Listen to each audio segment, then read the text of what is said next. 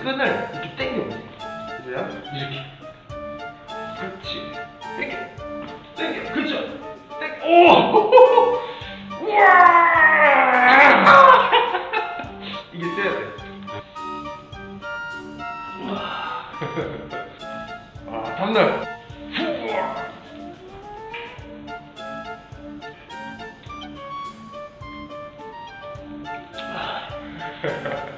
유튜브로 보고 있을 때 이거 덮으라 되겠지. 원래는 손목을 돌리면 안 돼. 어 그래? 하나, 퉁, 사이드. 퉁, 사이드. 그죠?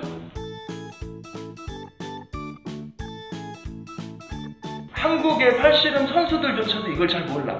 그냥 손목만 무조건 돌리면 되는 줄 알아요.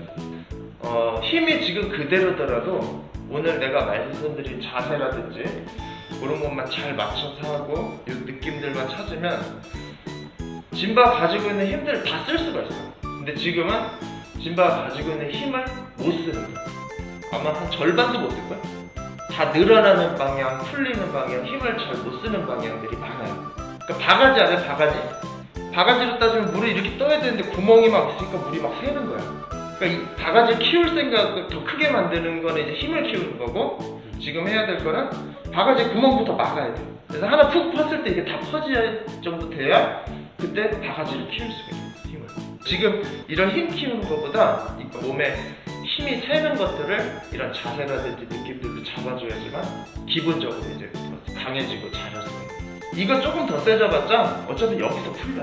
왜냐면 약한 데서부터 늘어나기 시작. 공부를 해. 그러니까 손이 세고 좋으면 먹히긴 먹히는데 조금 팔씨름 하는 상대를 만난다거나 이거를 쓰는 사람들 만나면 이렇게 깔릴 수밖에 없다. 팔씨름 할 때 나는 계속 이렇게 되고 내 새끼손가락 쪽이 빠지고 상대가 위로 올라탄다. 아 이게 low toproll과 high toproll의 상성이다 아니에요.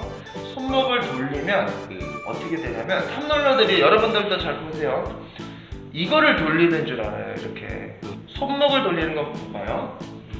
이쪽에 연결된 근육으로 여기를 단축시켜서 도는 거야. 그러면은 엄지손가락이 제 쪽으로 오고 낮아진단 말이에요, 이렇게. 여기를 당기면 상대방이 엄지를 따라서 올라오면서 이 그립을 공격해요. 근데 우리가 프로네이션이라고 쓰는 건 뭐냐면 이 안쪽 손목을 돌리는 게 아니라 그거를 꼭 인지하셔야 돼요. 한번 더. 셋, 둘, 그렇지. 여기까지 간 상태에서 어떻게 해요? 하나, 둘, 스톱! 얘 피, 얘 피고, 얘 내려가. 그죠? 몸이 바깥으로 빠지는 게 아니라 여기 있어야 돼.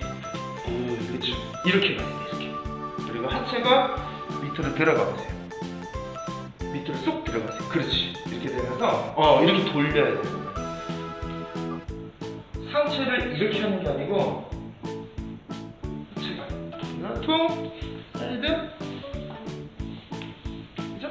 얘를 당기면서 사람들이 어떻게 하냐면 등으로 등을 이렇게 접혀. 등이 수축을 해 등이 이렇게 여기가 노젓는 것처럼 이렇게. 그러면 어떻게 되냐면 가슴이 벌어지고 팔이 이렇게 돌아 그 이거 지는 방향이에요. 그래서 노젓는 것처럼 당기는 게 아니라 우리 썰매 타듯이 그죠? 당겨서 당길 때 이쪽이 여기가 이 후면 어깨 쪽이 살짝 올라가 주면서 요로 돌아야 이렇게 잡혀요. 그래서 오늘 제가 말씀드렸던 거를 좀 익숙하게 할 수 있으면 지금보다 훨씬 되죠. 화이팅!